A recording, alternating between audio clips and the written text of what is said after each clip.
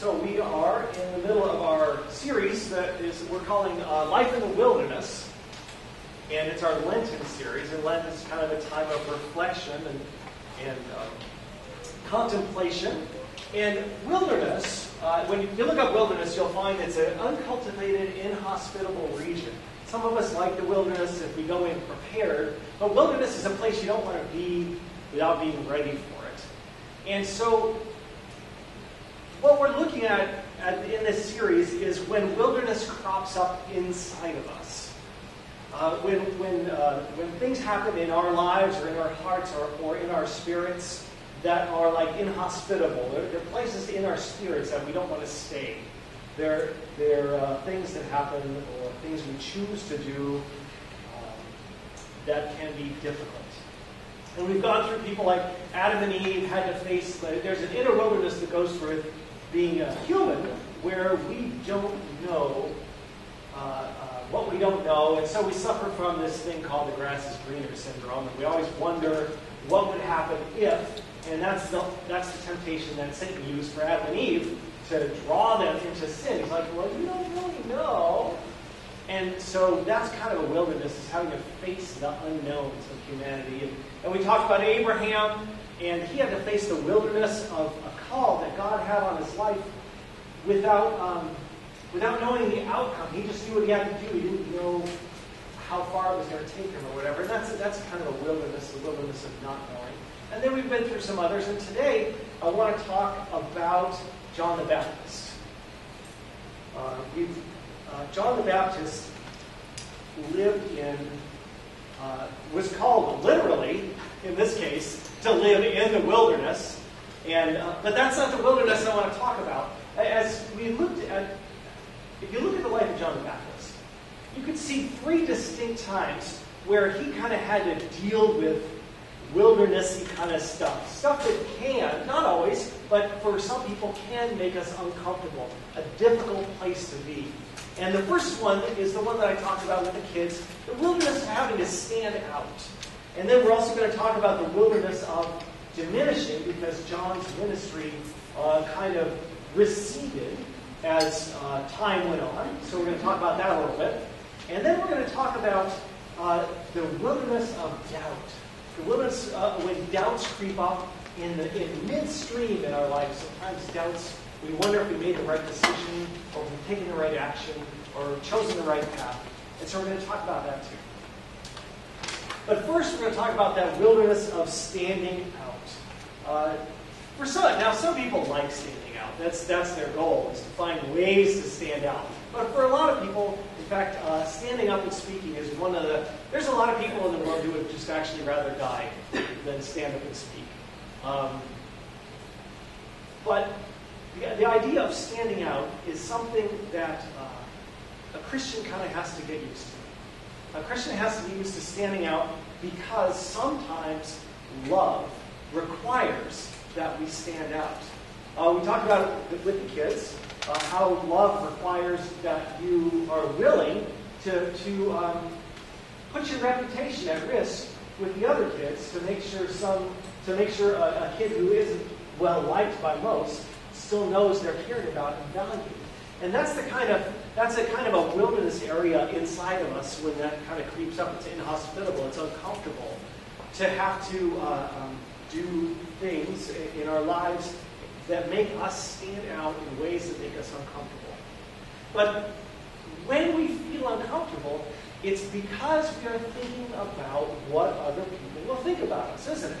Uh, because all of us, to varying degrees, are concerned with our reputation. And so when we feel there's a moment of call of love to do something, and then we also feel that like there's something that says, well, that's going to make you look funny, that's going to make you look weird, it's going to make you look weak, something like that, um, that comes out in us. And that's all a fear of other people. It's all a fear of what other people might be thinking of us. And it lives in us as kind of a wilderness that rears its ugly head sometimes. And Proverbs, uh, Solomon addressed that in Proverbs. He said, The fear of a person will lay a snare, but he who trusts in Yahweh will be secure.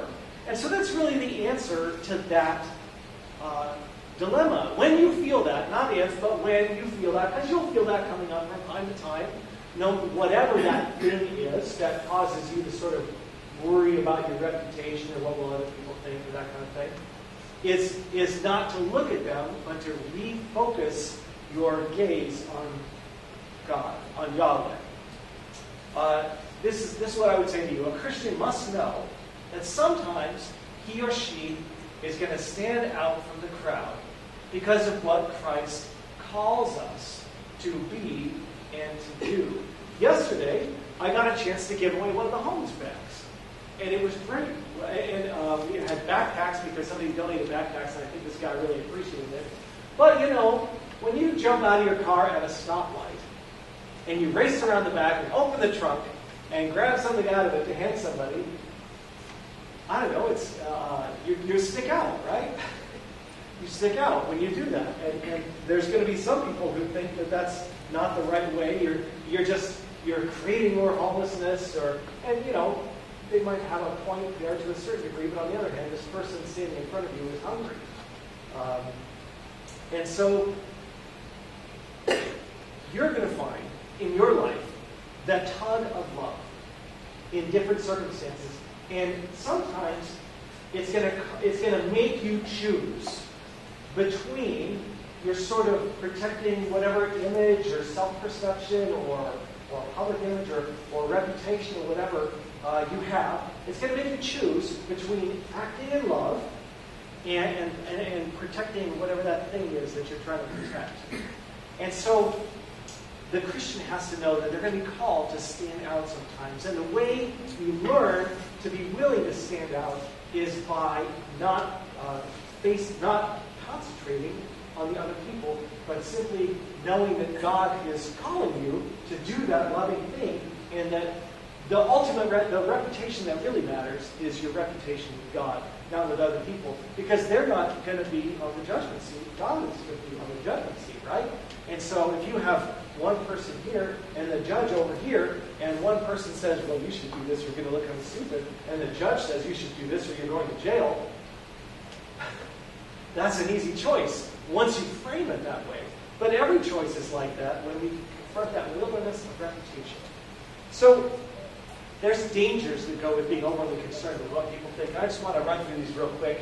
They're in your bulletin and the sermon handout. If you spend time being overly concerned about what other people think, uh, it can lead you to waste time and emotions trying to figure out what other people are thinking. How many of you have ever tried to play, play mind reader and try to figure out what other people are thinking about you, or about what you've done, or about what they'll think if you do what you think you might be considering doing? Right? I mean, we've all done that. Some of us do that more than others, but it's all a waste of time because by now I can see uh, in this room, most of us have by now realized that we're not, we're often not right. We're often not correct. We think we know what other people are thinking, but we don't actually know what they're thinking. And so if we spend too much time thinking about what they're thinking instead of talking to them, we are simply wasting time. Another thing, being overly concerned with what others think, can cause you to miss opportunities to do good. Uh, uh, on Thursday, I went around putting out cards in businesses for our Easter service. And it's just an interesting experience to do that because there's a little thing inside you that goes, you're going to look a little weird. You're going to look like a fanatic going into a business and saying, hey, can I put in cards for my Easter service or whatever? Or, or they're going to think that you're like self-serve, you're like a pastor who's trying to grow your business so you can make more money or something. Or, uh, you know, there's just a million different things that people might think, and some of those might be true, who knows? But, but whatever they might be thinking, I definitely had that little wilderness of fear of man uh, crop up inside of me. And the interesting thing was, it didn't really go away. You'd think after five or ten, I would just be like, oh, okay, most of these people, and it, it didn't really go away. You know what it actually went away? This is funny. I probably went to 20 uh, stores or so, and about the 18th store I went to, I think, uh, was a liquor store.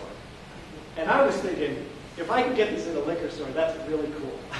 Got to get the Easter announcement in a liquor store. That's awesome. Um, But I went in there and I asked the guy, the man, the guy the, at the counter if I could put these on the counter for our Easter service, and he said, uh, he kind of looked at me. He wasn't, you know, it wasn't like in my face or anything, but he's like, nah, because he likes to keep his counter clean. And I don't know if he didn't want church stuff in his liquor store because he might, you know, decrease sales or something. Not that I'm against having a, you know, what you don't have to go that road. But it, what happened was when he told me no, I realized that no wasn't really such a big deal either. Uh, until then, I wondered what it would feel like to have somebody say, no, you can't put these here. When I did, it just wasn't such a big deal.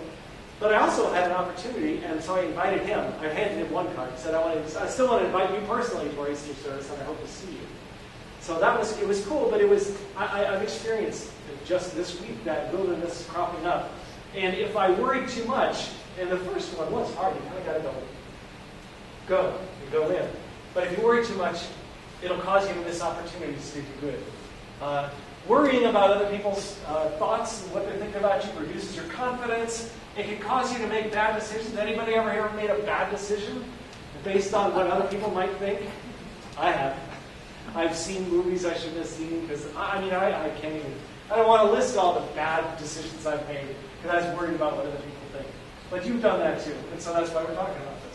Uh, and it can lead you to water down the truth, both gospel and otherwise. Um, worrying too much about what people think will can lead you to not um, not being fully forthcoming with people as people. And uh, the writer to Hebrews addresses this. He gives us the key. This is the key when you feel those things happening, when you feel that wilderness beginning to crop up inside you. We must keep our eyes on Jesus, who leads us and makes our faith complete. He endured the shame of being nailed to a cross because he knew that later on he'd be glad that he did. Now he's seated at the right hand of God's throne. So keep your mind on Jesus, who put up with many insults from sinners, and then you won't get discouraged and give up. This is from the contemporary English version, which is kind of a newspaper level version. For those of you who are like, oh, I don't think I've heard that one before. But I thought it made it clear. And the one thing that was really stood out to me when I read this is that it doesn't talk about the pain, it talks about the shame. It doesn't talk about the pain he endured, it talks about the shame and the insults he endured. And isn't that what we're talking about when we talk about not being afraid, not letting uh, what other people think of us uh, uh, inhibit our ability to serve Jesus in particular situations, to be loving in particular situations? That's the wilderness we're talking about. And so it says he endured the shame. You know, you'd think that'd say the pain of being nailed, but it says the shame of being nailed, and then it says many insults. And so our the key here, the key is Jesus. Keeping our eyes on Jesus when we encounter these situations. Then we won't get discouraged. So that's wilderness number one, that, that kind of fear of standing out kind of thing that crops up inside of us. Wilderness number two is the wilderness of diminishing.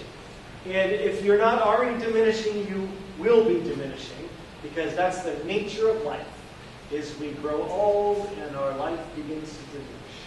And that's just the way it is. And John faced this same thing. When Jesus, John had, John had a great ministry going on there. He was baptized, people coming from all over the place. He was rocking and rolling. And then Jesus came along, and John's disciples started following Jesus. And John gives us the proper response because it's Jesus who came up. John said, He must increase but I must decrease. And so when we're facing that wilderness of diminishing, uh, uh, of seeing the scope of our life begin to narrow, our abilities uh, in life maybe begin to shrink because of health issues or financial issues or whatever, or whatever, you just just and think of times when things feel like they're shrinking that shouldn't be shrinking. And, and, and, it happens in, in, all different spheres. It could be like relationships that are like souring or, or efforts that aren't bearing fruit or whatever. There's all this time in our life where uh, things begin to like feel like they're going in the wrong. And the Bible addresses this for us. Solomon, uh, wisest man who ever lived, said it like this, and you've heard it uh, in story and song. For everything, there's a season. I'm not going to read the whole thing because you, have heard it before. But there's a time for everything born and die and plant and harvest and kill and heal and break down and build up. There's a time to grow and a time to diminish. And that's the nature of our lives. And so we can take John as our example and say, well, that's the nature of things. I am supposed to be diminishing because Jesus is the one who's supposed to be increasing. And in fact, the end goal of history is that we all diminish. For God has put all things in subjection under his feet. That's Jesus' feet. But when it says all things are put under his okay, skip that part. When all things are subjected to him, then the Son himself, Jesus himself, will be subjected to him who put all things in subjection under him. That what? God may be all in all. So all this diminishing, where does that sense of diminishing really come from? That, that comes from a sense of what we ought to be able to do, of what we ought to be. Or maybe it comes from our, our wishes of, um, it, it, it, comes from our, our desire often to be a certain thing for the sake of our own sense of our self-worth. And the, the, the, uh, and the Bible says, no, it's really all about magnifying Jesus. Some people will have something that expands and grows large, and some people will will uh, um, will have a tiny, tiny thing, and it's all worth the same. There's no there's no sense of like worth in different size ministries or or lives or anything like that. And so when you feel yourself shrinking, you're not actually your your ability to, to live and love and serve is not really shrinking. It's it's changing. Um, and, and you never know. You never know quite what your impact is going to be. And, and the, the thing with this is, is that, that God is always working. And, and when what you feel like might be diminishing might actually be preparing for the next thing. It might be prepared for the next thing. C.S. Lewis in The Great Divorce paints a picture of heaven. And he's got, uh, and, and heavenly characters come back out of heaven to meet new people who are taking the bus from hell. You can read it if you want. It's a great book. Uh, it sounds like an odd setup, but it's fantastic. But when they come uh, out to heaven to meet these other people, what you find is you find the, the true presentation of who they are. And some of the people who were the, the, the, the, uh, most um, sort of big people, I'm trying to figure out the right word to say that some of the people that we all look at and admire, whatever, for the you know amazingness of what they do on earth or whatever, turn out to to to, um, to not be so uh, celebrated in heaven. And in heaven, of course, it's no big deal to them because they've lost that sense of needing to uh, have the reputation. And then some of the people that are have the lowliest position on earth have the position to which you would think that is they never even I mean they don't have a chance to diminish because they're already they just live a diminished life, like a washerwoman or something. This is C.S. Lewis's era, and she comes along and she's got this huge train and she's got people following her all over the place. She's just in glory, and it's because she served God with a pure heart as a washerwoman. And so, if you feel diminishing, the answer again is what? It's to put your eyes back on Jesus and let Jesus guide you in living out love in your life. So that's the second thing. The wilderness of standing out, the wilderness of diminishing. And the last one is the wilderness of doubt. The wilderness of doubt. And this one, uh, this is a great one because we all experience it. It's, uh, again, wilderness, we're saying, is an in, inhospitable place. It's uncomfortable. And doubt is an uncomfortable place that comes up inside of us. And we've all been here. We've all had doubt. We've wondered if we've uh, made the right decision. We look back and say, "Oh, I wonder if I made the right decision. I wonder if I've, uh, um, wonder if I, I chose the right path. I wonder if I could have done something different there. I wonder if, whenever we're looking back historically and we're wondering if, that that can be kind of like a wilderness, an uncomfortableness that pops up inside of us. And we're not the only ones that have that happen. You would we, we kind of idol, we kind of idolize people who are around Jesus. And this is one of the reasons why reading the Bible is so important. It's important on so many levels, but one of the reasons to read, especially the Gospels, is we idolize the people who hung around Jesus, but they are not. Uh, if we read the scriptures, we see their full humanity on display. Sometimes we think, uh, don't you think this? If, if I actually had just, ta- if I could talk to Jesus directly, all my doubts would be resolved, right, or whatever. It's not true. It's not true. That wilderness of doubt is still going to creep up. It creeped up in John the Baptist. We read in the, in the reading where uh, John the Baptist got thrown in prison, and some of his disciples were still ministering to him because you had to take care of people in prison. They had to have friends come and bring them food and all that stuff. So John is in prison, and what happens? Uh, the disciples of John come to tell him about Jesus and what's kind of happening. And John calls two of his disciples and sends them to Jesus, saying, Are you the one who is to come? Or should we look for another? This is John the Baptist. This is the guy who said, Behold, the Lamb of God who takes away the sin of the world as Jesus walked by. And now he's sitting in prison and things aren't going so well anymore. And he's like, Okay, you know what? I just I need a little reassurance. So could you guys go just check with I mean obviously Jesus is a good guy, but could you check with him to make sure he is the one? Or are we supposed to look for somebody else too? Doubt. It's a part of our lives. It's a, it's, it's a, you, we can't escape it because we live in this world where we do, in fact, make wrong decisions. We do make decisions that lead to difficulty or pain. And so the idea that we're going to run into doubt is normal. We don't know everything, and we certainly are faced with plenty of mystery in life. And so doubt becomes part of our life. And you know what the Bible says for people who doubt? It says this be merciful to them. Be merciful to people who doubt. Why? Because their doubting isn't fun. It's not fun to it's not fun to have that wilderness crop up inside you, that uncomfortable place that you didn't wish you, that oh, those uncomfortable thoughts that you wish weren't inside you, but they are. If someone is in a place of doubt, the Bible says to have mercy on them. You know what? Jesus responded to John's disciples. He, uh, he responded to them, and this is what he said.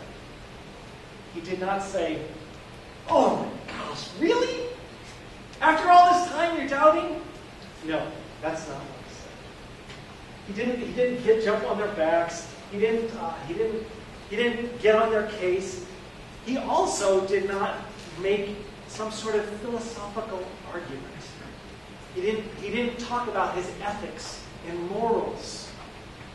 He said, What do you see? He said, What do you see? And that's the key for us when we're plagued by all the different inner wildernesses that come uh, come up inside of us, including the ones we've talked to today, including doubt. It's um, Paul said the Jews look for a sign, and the Greeks seek wisdom, but both of those are dead ends to. And I'll tell you why.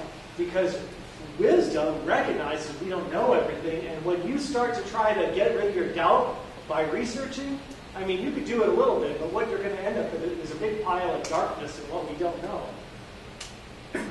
and a sign, we're told not to seek signs because Satan can make manifest signs. We can make up signs out of random events and think they're signs. Jesus said, What you see? Look at Jesus. And, and, and he, he told John's disciples, What do you see? The deaf are the deaf hear, the dumb speak, the blind see, and the dead are raised which is what the Old Testament said would be happening when the Messiah arrived. And so the answer, again, it's not to try to reason it out. That's not the way you're going to get rid of the inner wilderness. That's the wisdom the Greeks seek. It's not to look for some sign. I, I'm going to poke very mild and good-natured fun at somebody I went out with once. Uh, it was a, a girl. And she used to do this thing called fleecing. I don't know if you remember that story of the fleece. Uh, um, it was. I know, I'm the one who's supposed to know.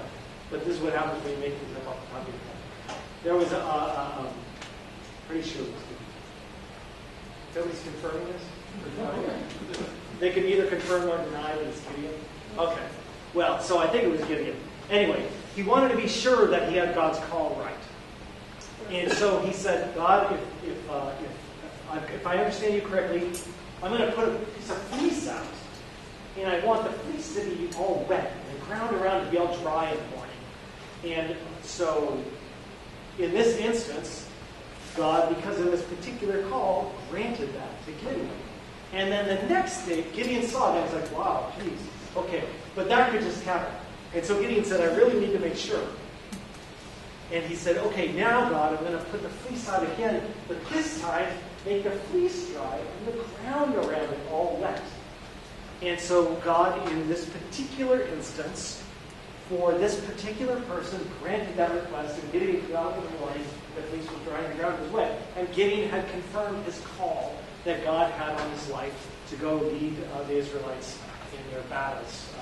Um, and so I, I, I, uh, I dated this girl who, who had decided, who had come to the conclusion through all her Bible study and everything that this was a universal practice. And so uh, I, I played along. Actually, it's not, it's not that I played along, but I tested it. I said, okay, we're trying to decide something between the two of us. And I lived in St. Louis at the time, and it was January. So I said, I'll put a cup of, I'll put a can of Coke or something. I can't remember what that was. And, uh, and if it's not frozen in the morning, then we'll call that a sign from God. And she's like, oh, that's not fair.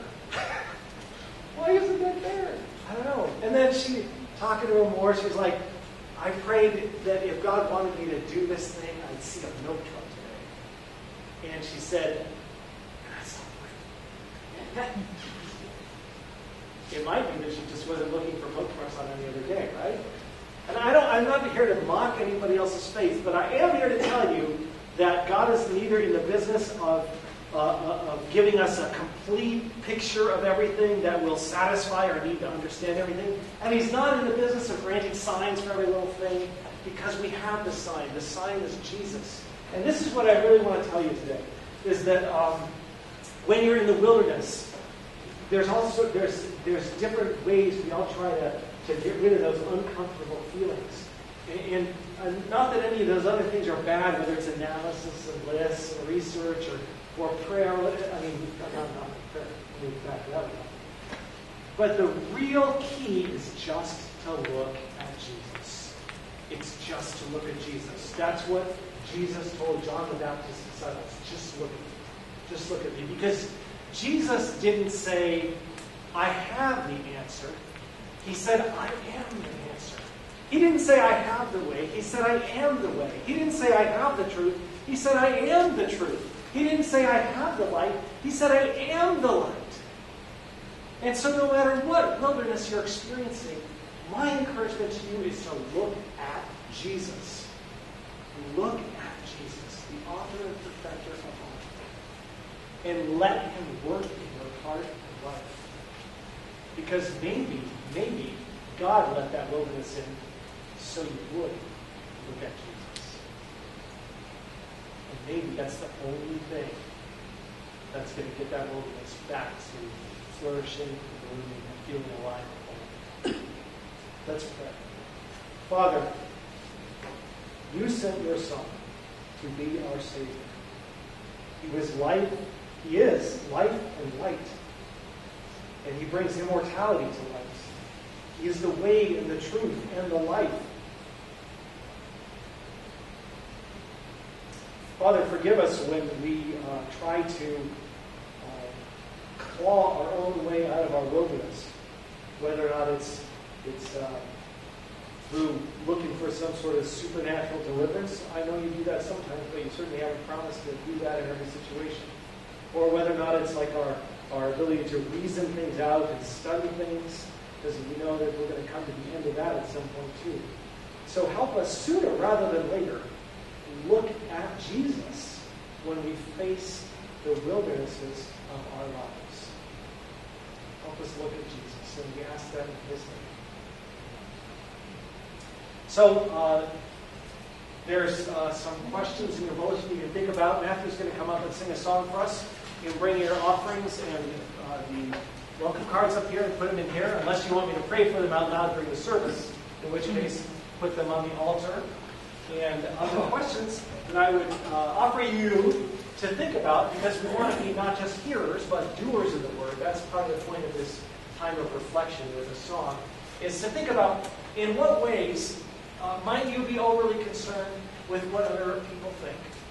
Uh, number two, and these are all your bulletin too, uh, how can you be prepared to diminish? You know, because we're all going to experience those kind of things. And number three, if you are doubting, if you're in that wilderness of doubt, how do you just look at Jesus instead of trying to figure out? You just look at Jesus and ask Him to show you uh, how to be with Him in the wilderness and to let Him walk you